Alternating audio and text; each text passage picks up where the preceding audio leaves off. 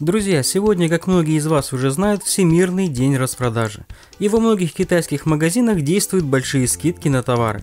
В связи с этим я подготовил для вас очередную подборку с интересным инструментом из Китая. Приятного просмотра! Начнем мы с разметочной линейки.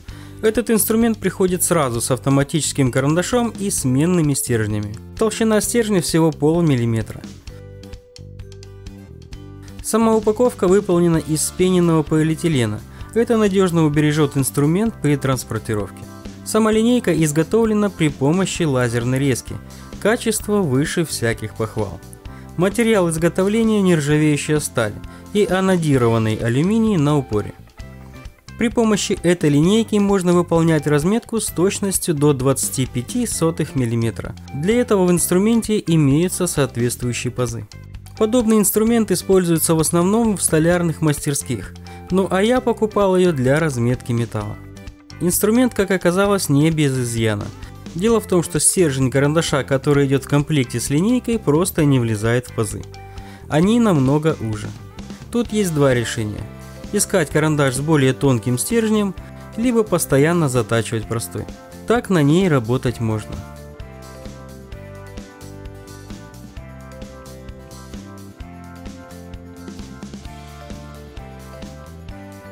Ну а по металлу тут все работает без проблем. Все ссылки на представленные в этом видео товары найдете в описании под этим видео или в первом закрепленном комментарии. гейферный захват или ручной сварочный зажим. Увидев этого 5-дюймового малыша, я сразу захотел его к себе в коллекцию. Тем более на момент покупки он стоил не так дорого. Захват выполнен очень даже неплохо. Сталь в них тоже не сырая. Знаю это, так как в моем арсенале уже есть парочка этих инструментов из Поднебесной. Правда большего размера.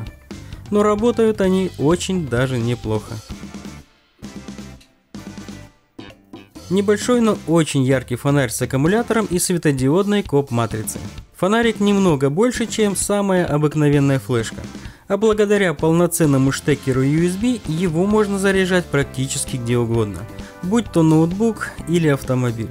Фонарь имеет три режима работы – приглушенный свет, яркий свет и стробоскоп. Внутри фонарь имеет аккумулятор емкостью 100 мАч и плату заряда, на которую припаян тот самый USB-штекер. Вот его тест в полной темноте. Я считаю для такого малыша неплохо. Аккумуляторный фонарь помощнее я показывал в предыдущем видео с товарами из Китая. Ссылка на это видео будет в углу экрана, а также в описании под этим видео.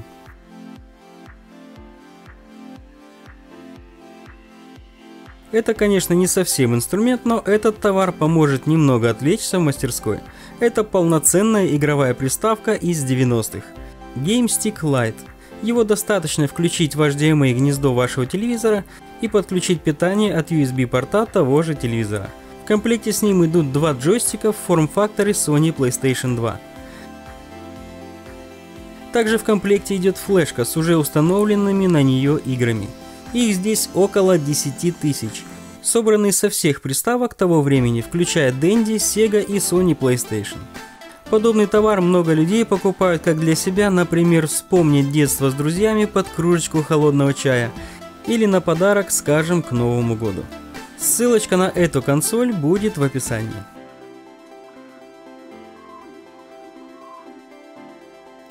Набор зинковок.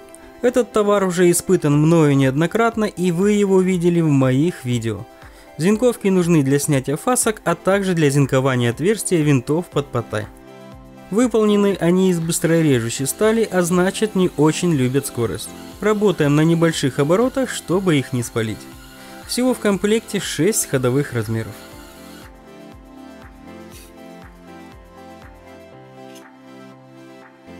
Как и предыдущий товар, это тоже уже испытанный мною комплект метчиков. Своей заточкой они очень напоминают метчики с номером 1, однако профиль у них полный.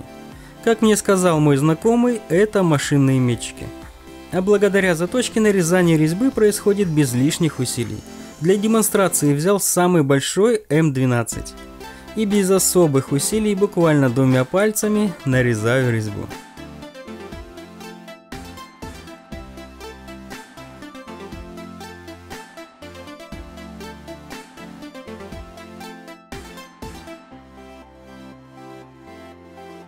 Прецизионные блоки 25, 50, 75, или как их называют американцы, блок 123. Это прецизионный инструмент для установки и крепления заготовок на столах металлообрабатывающих станков. Благодаря отверстиям и внутренним резьбам из инструмента можно собрать практически любую форму для крепления. Также можно использовать инструмент как лекальный уголок, ведь все плоскости у него шлифованные и размеры выдержаны четко. Пресс-клещи с целой кучей обжимных клин. Мне для мастерской такого комплекта, думаю, хватит очень надолго. Клеммы тут есть на все случаи жизни. Думаю, электрику ленточной пилы уже будем собирать при помощи этого инструмента. А пользоваться им очень просто – Достаточно снять с провода часть изоляции, затем подобрать нужную клемму и обжать клещами.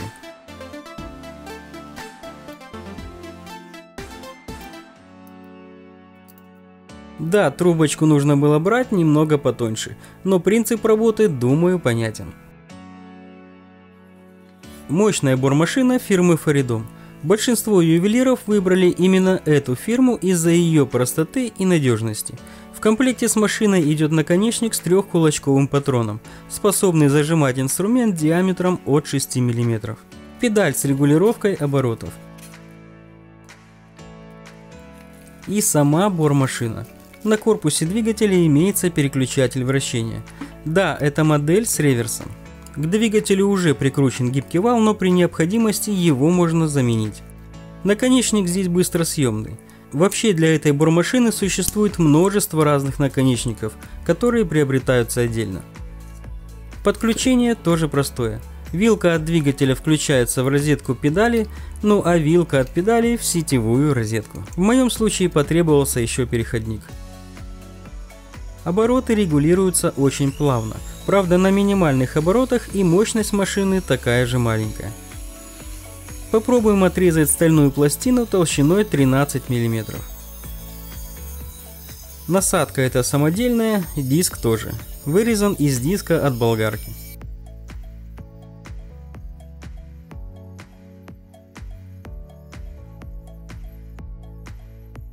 Как по мне, так со своей задачей машина справляется, благо мощности для этого предостаточно. Чуть-чуть не хватило диска, ну а машина просто зверь. К ней также прикупил шлифовальные барабаны.